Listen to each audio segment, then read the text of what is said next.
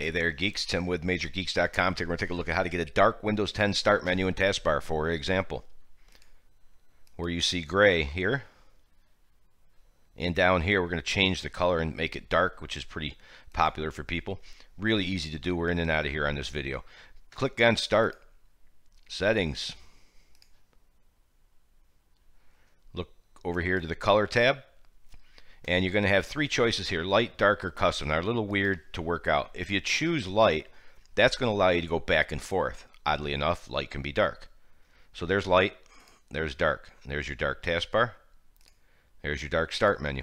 One of the reasons we did this video is people were doing major feature updates and coming into Windows and finding out that their colors that they like are gone. This will get you back quickly. Now as you can see when I switched to dark it went to custom because if you have light or dark, I think, one of the two, there you go, there is no other option here. There's light, there's dark. See, that turns everything dark, which, you know, you might like that. I'm not, I personally don't. But if you go to custom, that brings these two other options out here. So you can choose your default app mode, light or dark. Choose your default Windows mode.